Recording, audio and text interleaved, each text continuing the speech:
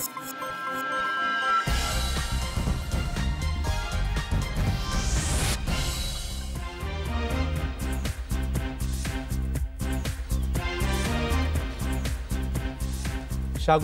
নয়টায় বাংলাদেশে সঙ্গে আছি আমি অনিমেষ কর এবং আমি দোলা ডালরেস জাতির পিতাকে নিয়ে ভুল কিছু বলে থাকলে তার জন্য নিঃশর্ত ক্ষমা চেয়েছেন জাতীয় পার্টির মহাসচিব মশিউর রহমান রাঙা সন্ধ্যায় সংসদ অধিবেশনে যোগ দিয়ে বিরোধী দলের হুইপ রাঙা এই ক্ষমা চান এ সময় নূর হোসেনের পরিবারের কাছে ক্ষমা চেয়ে চিঠি দিয়েছেন বলেও জানান তিনি মঙ্গলবার সংসদ সদস্যরা তার সাম্প্রতিক বক্তব্য নিয়ে যেভাবে সমালোচনা করেছেন সেটাকে শাসন হিসেবে দেখছেন বলে সংসদে জানান জাপার মহাসচিব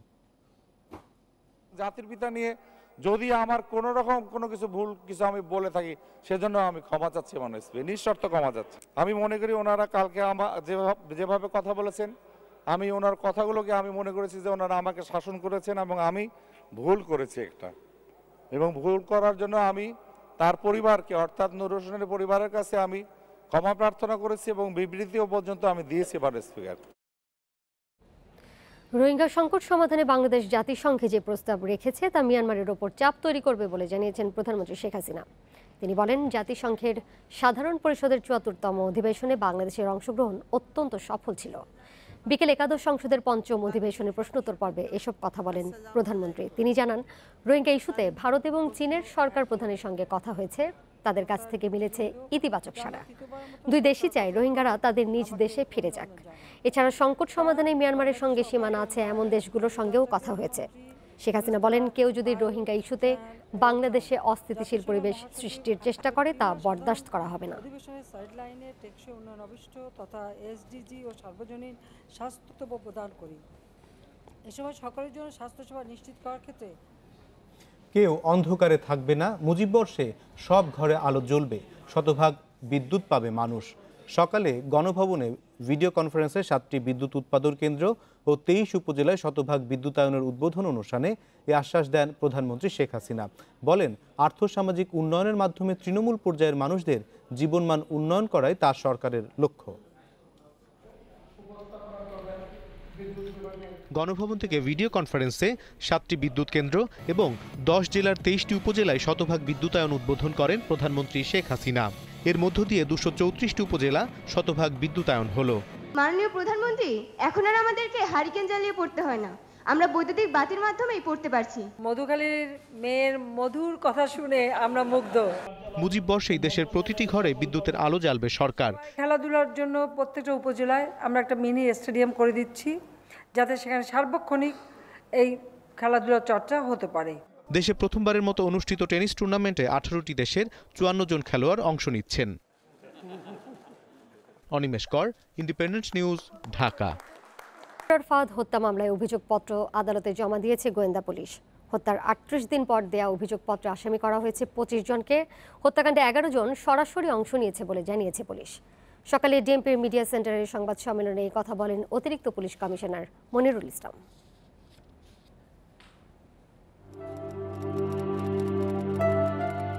শহরের শেরেবাংলা হলের দু নম্বর রুমে আব্রারকে পিটিয়ে হত্যা করা হয় এ কাজে সরাসরি অংশ নেয় এগারো জন আব্রারকে কিভাবে নির্যাতন করা হয় তার একটি স্কেচ আঁকা হয় স্কেচে ধারণা দেয়া হয় কিভাবে রাত দশটা থেকে রাত তিনটা পর্যন্ত আব্রারের উপর চলে অমানসিক নির্যাতন আব্রার হত্যাকাণ্ডের আটত্রিশ দিনের মধ্যে আদালতে চার্জশিট দিল ঢাকা মহানগর গোয়েন্দা পুলিশ আসামি করা হয় পঁচিশ জনকে এজাহারনামার মধ্যে ১৯ জন ছাড়াও ছয় জনকে পরবর্তীতে তদন্ত শেষে মামলায় আসামি হিসেবে অন্তর্ভুক্ত করা হয় এখনও পলাতক আছেন চারজন গ্রেপ্তার হয়েছে একুশ জন সবাই বুয়েটের ছাত্র নির্যাতনে সরাসরি অংশ নেয় এগারো জন এদের মধ্যে স্বীকারোক্তিমূলক জবানবন্দি দিয়েছে আটজন এ ঘটনায় তদন্ত সংস্থা ঢাকা মহানগর গোয়েন্দা পুলিশ একত্রিশ জনের সাক্ষ্য নিয়ে এই চার্জশিট আদালতে উপস্থাপন করে ছাত্ররা সরাসরি মারপিটে অংশগ্রহণ করেছে এইরকম এগারো জন বাকিরা পরিকল্পনা এবং ঘটনাস্থলে অনুপস্থিত থেকেও নির্দেশনায় পরিকল্পনা পূর্বের পরিকল্পনায় অংশগ্রহণ এবং নির্দেশনা প্রদানের মাধ্যমে ঘটনাস্থলে না থেকেও তারা তাদের সম্পৃক্ততা এসেছে অর্থাৎ প্রত্যক্ষ এবং পরোক্ষ মিলিয়ে আমরা এই পঁচিশ জনের নাম পেয়েছি এই পঁচিশ জনের বিরুদ্ধেই চার্জশিট দাখিল করা হয়েছে প্রশ্ন হচ্ছে কেন আবরারকে এভাবে নির্মমভাবে নির্যাতন করা হলো তদন্ত সংস্থারা বলছেন শিবির হিজবুত তাহরির সন্দেহ ছাড়াও আরও বেশ কিছু কারণে আবরারের উপর চড়াও হয় ঘাতকেরা শিবির সন্দেহ শুধু একক কারণ নয় এই যে নানা কারণে মানে তারা আগে থেকেই একটু ওর আচরণে সালাম না দেওয়া এইসব মিলিয়েই তাদের ভিতরে একটা ক্ষোভ ছিল এবং অন্যদেরকেও কথিত শিক্ষা দেওয়ার নাম নাম করে র্যাগিংয়ে আসলে তাই হচ্ছিল র্যাগিংয়ের নামে যে একজনকে পেটানো অর্থাৎ অর্থাৎ ওই যে কি ঝিকে মেরে বউকে শেখানোর মতো আর কি গত ছয়ই অক্টোবর বুয়েটের শেরেবাংলা হলে আবরারকে পিটিয়ে হত্যা করে বুয়েট শাখা ছাত্রলীগের নেতাকর্মীরা পরদিন সাত অক্টোবর আবরারের বাবা বরকতুল্লাহ বাদী হয়ে উনিশ জনের বিরুদ্ধে মামলা করেন আবদুল্লা রাফি ইন্ডিপেন্ডেন্ট নিউজ ঢাকা বুয়েট শিক্ষার্থী আবরার ফাহাদ হত্যা মামলার চার্জশিট দাখিলে সন্তুষ্ট তার পরিবার তাদের আশা চার্জশিটের মতো বিচার কাজও দ্রুত সময়ে শেষ হবে এরা পুলিশ প্রশাসন যেভাবে দ্রুত সময়ের মধ্যে চার্জশিট দেশে আমি চাবো এরকম দ্রুত সময়ের মধ্যে স্বরাষ্ট্রমন্ত্রী এবং মাননীয় প্রধানমন্ত্রী এবং সবার কাছে যাবো দ্রুতত সময়ের মধ্যে যেন ওই বিচার কার্য শুরু হয় যেহেতু এখানে পুলিশ নিজেই বলছে যে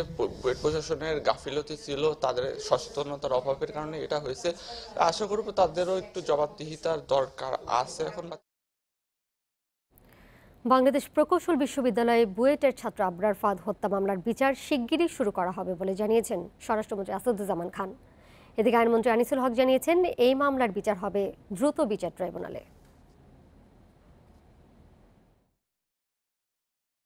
পঁচিশ জনকে অভিযুক্ত করে বুয়েটের ছাত্র আবরার ফাহাদ হত্যা মামলার চার্জশিট বুধবার আদালতে জমা দিয়েছে ঢাকা মহানগর গোয়েন্দা পুলিশ ডিবি স্বরাষ্ট্রমন্ত্রী আসাদুজ্জামান খান বুধবার দুপুরে স্বরাষ্ট্র মন্ত্রণালয়ে এক অনুষ্ঠানে সাংবাদিকদের প্রশ্নের জবাবে জানান আবরার ফাত হত্যার বিচার শিগগিরই শুরু করা হবে তিনি বলেন তদন্ত সংস্থা যে চার্জশিট দিয়েছে তা নির্ভুল চার্জশিট পলাতক আসামিদের গ্রেপ্তারের প্রচেষ্টা চলছে বলেও জানান তিনি পুলিশ বাহিনীর মাধ্যমে যে চার্জশিটটি গিয়েছে নির্ভুল চার্জশিট গিয়েছে তা আমরা শীঘ্রই এর বিচার হবে এটাই আমরা আপনার মতো আমরাও আশা করছি এদিকে বুয়েট শিক্ষার্থী আবরার হত্যাকাণ্ডের বিচার দ্রুত বিচার ট্রাইব্যুনালে হবে বলে জানিয়েছেন আইনমন্ত্রী আনিসুল হক সচিবালয়ে নিজ দপ্তরে সাংবাদিকদের প্রশ্নে একথা জানান আইনমন্ত্রী হত্যা মামলাটি দ্রুত বিচার আইনে একশো দিনে শেষ করা হবে বলেও জানান তিনি দ্রুত বিচার ট্রাইব্যুনালে এই মামলা আমরা করার জন্য আইনি যে প্রক্রিয়া সেটা সম্পন্ন করব এবং আমরা এটা দ্রুততার সাথে করার জন্য দ্রুত বিচার ট্রাইব্যুনালে আমরা এই বিচার কার্য করবই একশো দিনের মধ্যে বিচার সম্পন্ন করতে আইনমন্ত্রী বলেন এই মামলার কাজ দ্রুত শেষ করতে আগে থেকেই একটি প্রসিকিউশন টিম রেডি করে রাখা হয়েছে এই মামলায় দ্রুত বিচার কাজ সম্পন্ন হওয়ার মাধ্যমে এমন ঘটনা আর যেন না ঘটে সে মেসেজ তুলে ধরা হবে হাসিফ মাহমুদ শাহ ইন্ডিপেন্ডেন্ট নিউজ ঢাকা ঘূর্ণিঝড় বুলবুলের আঘাতের পর এক লাফে পেঁয়াজের দাম কেজিতে বেড়েছে তিরিশ টাকা এরপর থেকে প্রতিদিন বাড়ছে দশ টাকা করে বিক্রেতারা বলছেন বাজারে সরবরাহ না বাড়লে শিগগিরই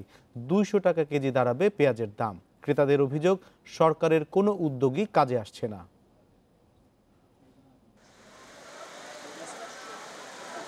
পেঁয়াজের বাজারে অস্থিতিশীলতা যেন কাটছেই না দুই সপ্তাহ আগে দাম কমতে শুরু করলেও আবারও বাড়তে শুরু করেছে এবার বাড়ছে লাফিয়ে লাফিয়ে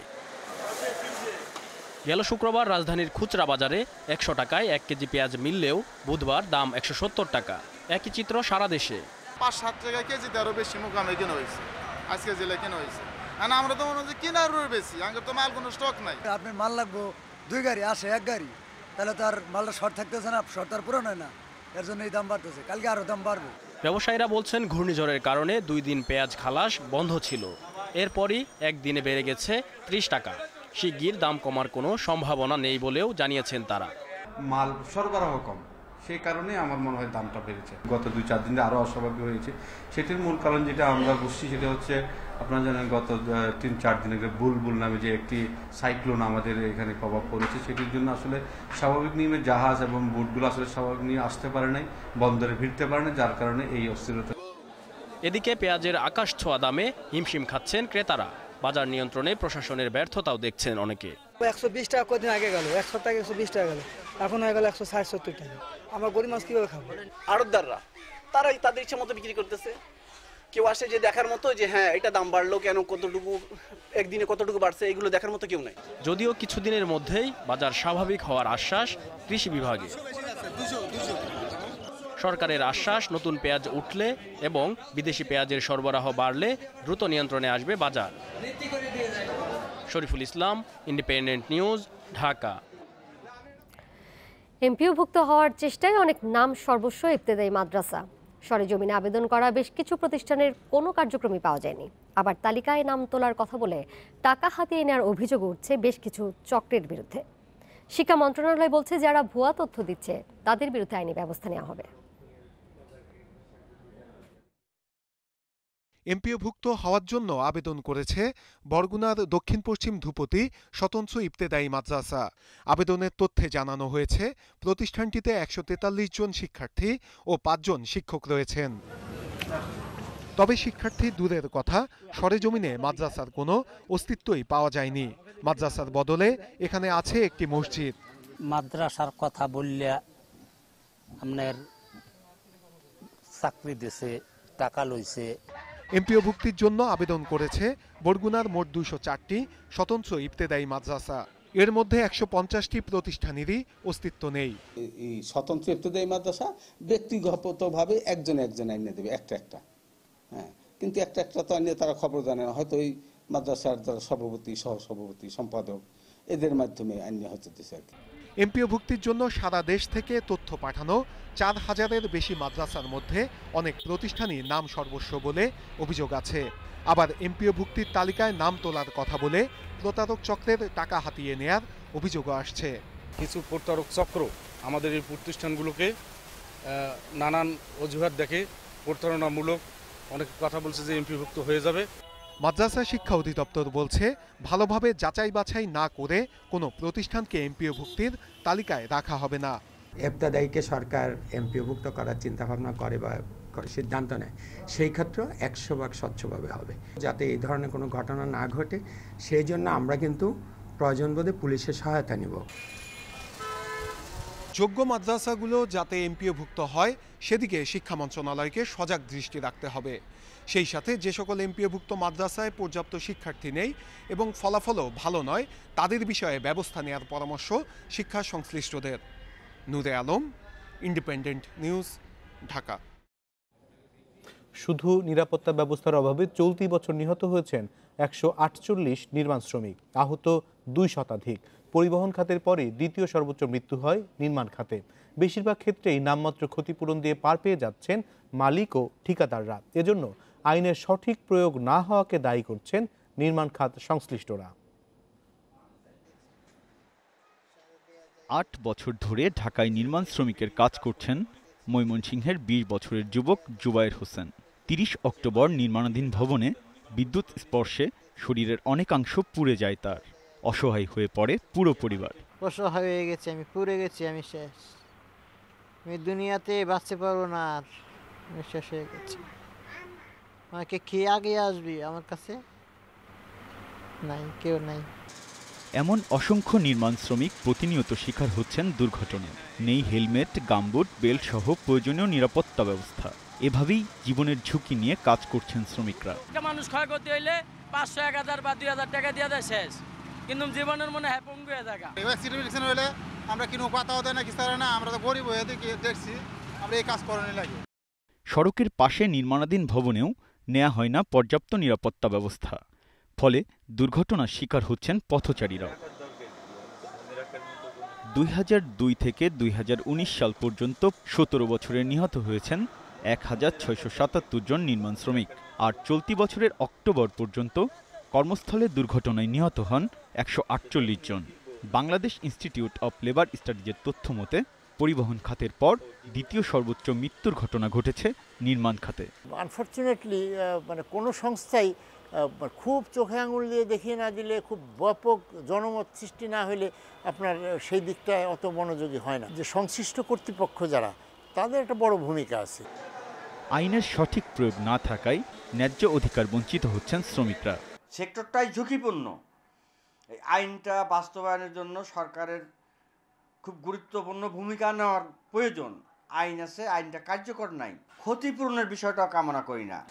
ঝুঁকিপূর্ণ এ পেশায় কাজ করছেন প্রায় সাঁত্রিশ লাখ শ্রমিক বিপ্রজিৎ চন্দ্র ইন্ডিপেন্ডেন্ট নিউজ ঢাকা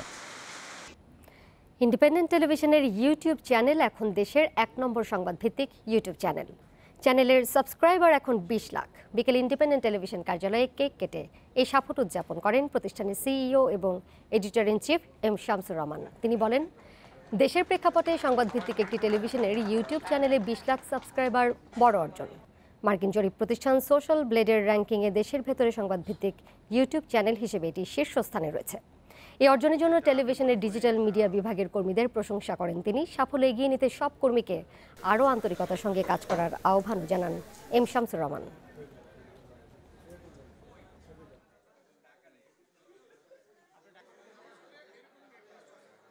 পুরো এন্টায়ার ডিজিটাল মিডিয়া টিমকে আমি কংগ্রেচুলেশন জানাই টু মিলিয়ন সাবস্ক্রাইবার বাংলাদেশের কনটেক্সটে আমি মনে করি এটা একটা বিশাল অ্যাচিভমেন্ট নিউজের মধ্যে আমরা ইন্ডিপেন্ডেন্ট টেলিভিশন ডিজিটাল মিডিয়াতে এক number hundred and ninety three entire globally যেটা আমি মনে করি ইটস ইটস এ আউটস্ট্যান্ডিং একটা পারফরমেন্স জয় কিংবা ড্রয়ের চিন্তা নিয়ে নয় সেশন বাই সেশন খেলার পরিকল্পনা করে মাঠে নামতে চায় বাংলাদেশ পরিকল্পনা মতো খেলতে পারলে জয়ও সম্ভব বলছেন টাইগার অধিনায়ক মুমিনুল হক অন্যদিকে বাংলাদেশকে কোনোভাবেই হালকা করে দেখার সুযোগ নেই বলছেন বিরাট কোহলি অভিজ্ঞ মুস্তাফিজকে নিয়ে সতীর্থদের সতর্ক থাকতে বলেছেন ভারত অধিনায়ক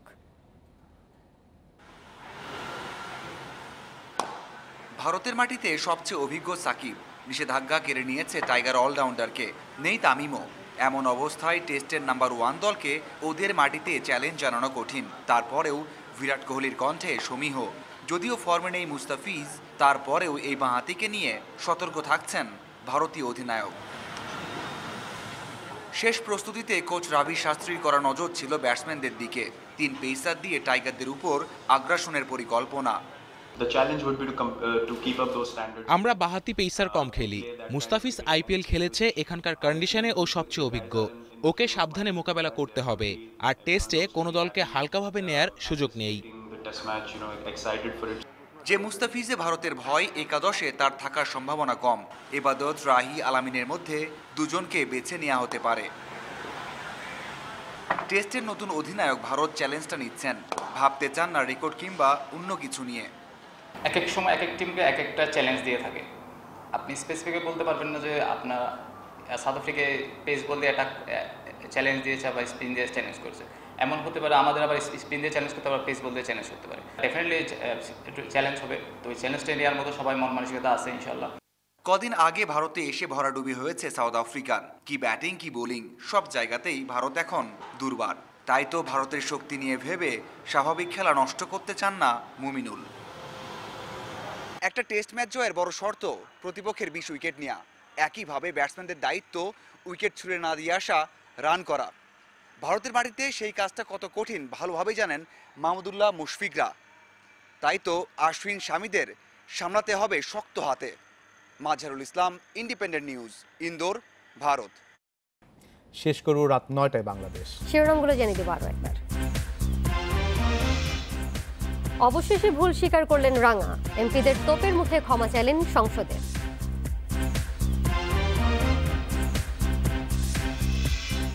বুয়েট শিক্ষার্থী আবরার হত্যা মামলার চার্জশিট জমা বিচার হবে দ্রুত বিচার ট্রাইব্যুনালে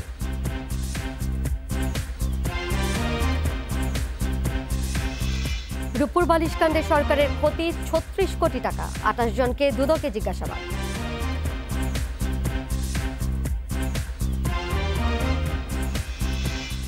ট্রেন দুর্ঘটনায় তুর্নার চালকের দোষ দেখছেন রেলমন্ত্রী অপমৃত্যুর মামলায় তদন্ত শুরু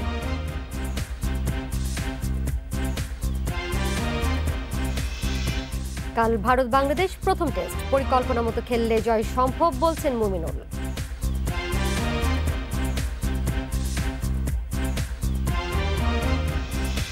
এই ছিল রাত নয়টায় বাংলাদেশে